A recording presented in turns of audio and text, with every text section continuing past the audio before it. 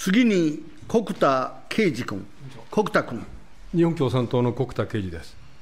今回の裏金事件は、自民党の主要派閥が揃って政治資金パーティーにおける政治資金収支報告書を偽造し、裏金作りを行っていたことであります。岸田さんはあの今回の裏金作りは、政治資金規正法に違反する、こういう認識はありますか？岸田君。あの今回の動きについては、検察の捜査を受けて、そして、えー、事実を確認した上で、えー、それぞれの議員が、まあ、修正の作業を行ってきたものであると認識をしております。えー、法律に従って、えー、この検察において判断が下されたものであると認識をいたします国田君。相変わらずそういう認識が不足してますよね、政治規正法に基づく考え方、そういう理念に反しているってことをはっきりさせなくちゃなりませんよ。そこで今回の裏金問題はですね、皆さんからあったように、誰が何のために、いつからこのシステムを作ったのかということが問題になります。で総理の総裁の弁明書にも、遅くとも十年十数年前から行われた可能性が高いとあると、それは具体的に言いますとね、関係者に確かめたのかと、いろんな報告書の中にありますように、少なくとも森元総理大臣の名前が挙がっている、松本純一郎氏の名前が挙がっている、この二方については確かめましたか？岸田君。あのえー、聞き取り調査の中で、えー、とそれぞれ議員からさまざまなあの、えー、発言があ行われました。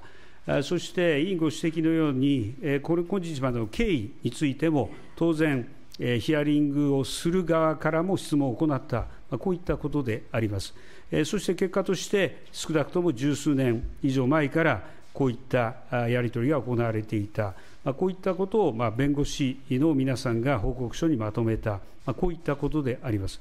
少なくともご指摘のように、森元総理が直接関わったという発言人があったということは、私自身、報告を受けてはおりません、国田君。明らかに少なくとも安倍派の主だった幹部の方々が、前の話、前の話、全部やっていて、それは会長と会計責任者の事務局長でやっていると、こうおっしゃってるわけですから、それでおられるのは、総理、元総理であった森さんは責任者だったわけです。その方に確かめるのは当たり前じゃありませんか。で、安倍派では、では、一旦辞めると決定した幹部をですね、聞き取り報告に書いてますよね、そういう内容が、報告書の中に、一旦辞めると決定したものをいろいろあるけれども、誰が復活させたのかということについて、分からんと言ってるわけですね、それは調べましたか？岸田君。えっと、私も報告書の中で、委員ご指摘のような、まあ、発言があったという、まあ、報告は受けております。しかし、結果として、えー、その経緯については、この十分確認はできなかった。えー、捜査権等がない中にあって、えー、なおかつ再発防止という観点を重視しながらヒアリングを行った、まあ、聞き取り調査においては、えー、ご指摘のような点については確認できなかった、まあ、こうしたことであると承知をしています国田君。関係者っていうのは、少なくとも安倍さんの、安倍派のそういう方々の、少なくとも事務総長だとか、その他役人、幹部の方いますよね、その経過の中で、切り替えた時の方も含めて分かっておられるわけです、その方に聞きましたか？岸田君。あのヒアリングは、いや、ヒアリングの中でご指摘のような方々のについても、その経緯について質問をしたということを報告を受けています。結果が報告書の中に記載をされています。私はその結果を報告受けております。国田君。分からんと書いている調査報告書なんですよ。それを分かるように努力するのが全容解明の初歩ではありませんか。そういうことについて何らの手を打たないで、報告書の通り話をしてたんじゃ、何のためがこの弁明かということになるじゃないですか。裏金作りでは、派閥側から収支報告書に記載しないようのと指示があったとされると。この点については、誰がこのような指示をしたか確かめましたか？岸田君。これもわからんと。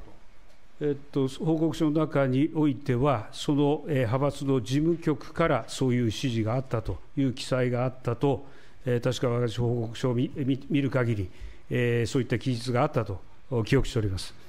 国田君。総裁の発言、答弁は、結局、この内容のそう報告書を内容をなぞってるだけなんですよ。その後、どうなっているかってことが、これでは不十分だから、このわざわざ出席される内容について、少なくとも新しい事実やいろんな努力をされたということが求められているんではありませんか。そこが大事じゃないですか。で、しかも結局、じゃあ何に使ったのかということについても、では結局、報告書の通りお述べになるだけですか、分からんということですか。岸田君。えーと、報告書にあ、失礼、使い道については、冒頭も少し触れさせていただきましたが、えーと、報告書の中に書いてありますように、えー、事務所費ですとか、研修費ですとか、備品の購入ですとか、こういった具体的な使途が、確認をされています。領収書が全部、この揃っているものもあれば、一部の領収書にとどまるものもありますが、今申し上げたような使い道が、確認をされ、そして結論として、この政治活動以外に使われたものは確認されていない、このように報告書の中で、え明記をされていると承知をしています。国田君。報告書の中の報告書の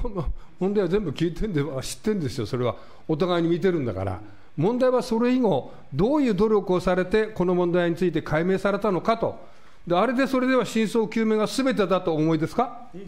石田君あの捜査の、ま、権限もない中での,、まあ、あの聞き取り調査でありますから、あれでそのすべて実態が把握できたものではなではないと思いますが、当初の再発防止と策を考える上では、あの聞き取り調査は大きな意味があったと考えています。その上でこうした政倫審でのこのやり取りをはじめ、さまざまな説明努力は続けられています。こうした努力を続ける中で、実態把握についても、えー、努めていくことが重要であると考えます国田君今あの、この報告書で明らかになったという内容はほんの一部なんですよ。多くの方々がこのこの報告書を見て、世論は明らかにこれは不十分だと言ってるわけですよ。ですから私は今の答弁を聞いててもですね何ら新しい前進はないと。したがってそういう意味で言いますとねみんなが疑問に思っている点のそういう方々に国会に来ていただいてやっぱり証人喚問して事実をあの問い詰めるという以外ないということを改めて感じました。以上です。